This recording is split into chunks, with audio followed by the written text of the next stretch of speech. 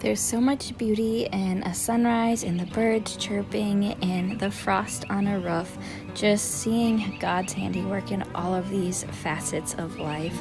Today, I am truly just going to share with you a day in the life as a home homemaker, stay at home mom, and um, yeah, just gonna bring you along with me. So, I am feeding my sourdough here as I will be making a sourdough pizza crust later this evening. I don't ever end up sharing that actually because we had guests come over and um, I just didn't pull my camera out.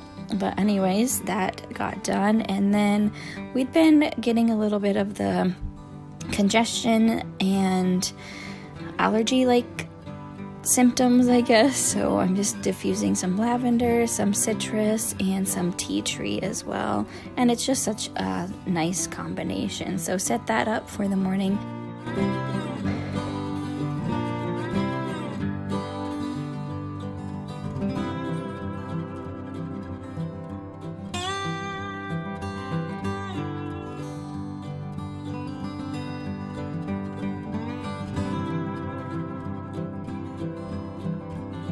So I needed to refresh my pitcher of flowers. Some of them were looking a little droopy and some just needed to be trimmed up again. So just taking care of that because I truly love having flowers on my table, fresh plants in the house, and what better way than some $4 Aldi grocery store flowers, especially in the cooler months when we can't be growing fresh flowers outside.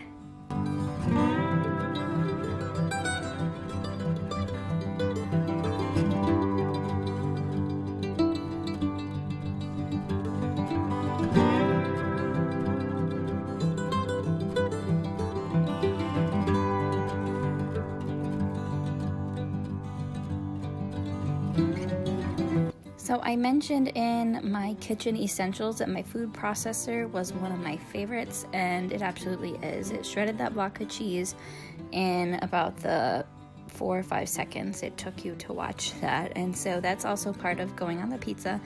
But I just, I truly like having conveniences as a homemaker as well to make life more simple and easier so we can spend time doing things that are important with the people we love.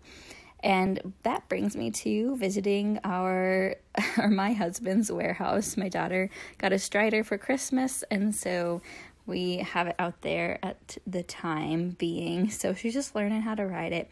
And also, I do have some seeds out there of broccoli and cabbage going because he has the most sun in his office. Um, I'm inserting here just the planting process I did of it. So I will probably share a seed starting video, garden video at some point for you guys.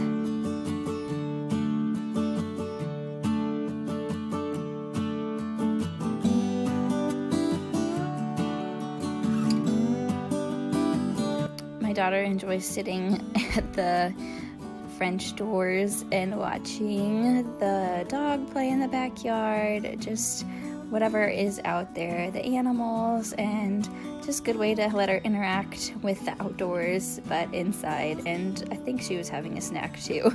So I just got a little bit of afternoon tidying done, cleaning up after whatever mess we may have had left from lunch, most likely. So I just try to do this pretty regularly every day. I definitely use a dry Swiffer for sure.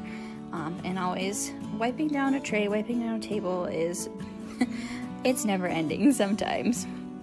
But then during her nap time, I made a fruit salad for the guests who came over too. So I just took care of chopping some of that up while listening to a podcast.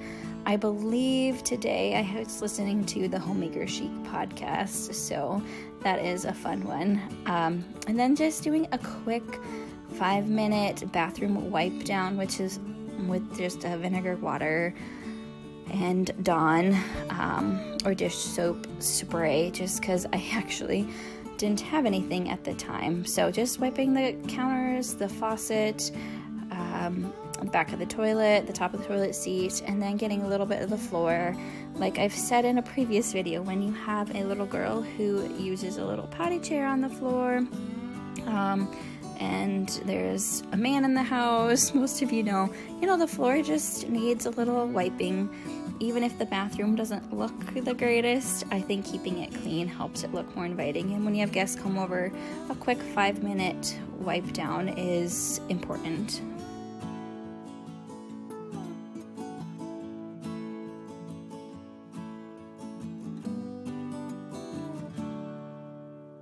Again, I'm using some more Young Living products that I get, and I love this Luscious Lemon, and what a great scent for spring. So just refilling that foam soap uh, dispenser.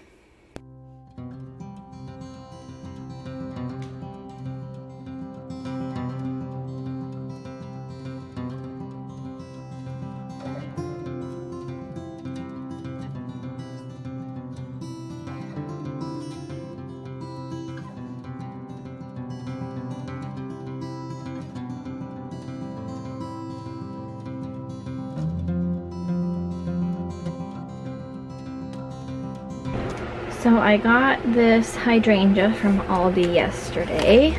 I think it's so beautiful. It'll be really pretty on our table and then to plant in the garden. My basil is coming up.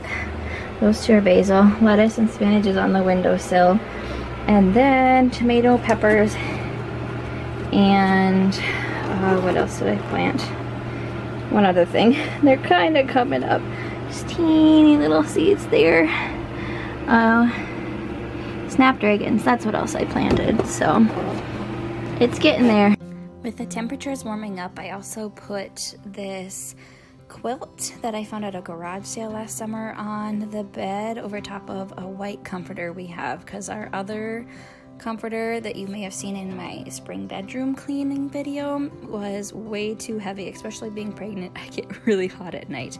Um, but I'm in a little um, situation where I'm not sure exactly what throw pillows to put on the bed. I don't have any that match this quilt, and so I just have these vintage lacy pillowcases that I added to the bed, but I definitely want some something else because I think throw pillows are just so beautiful and inviting, especially on a bed. So if you've got some suggestions or places I can find some, please let me know.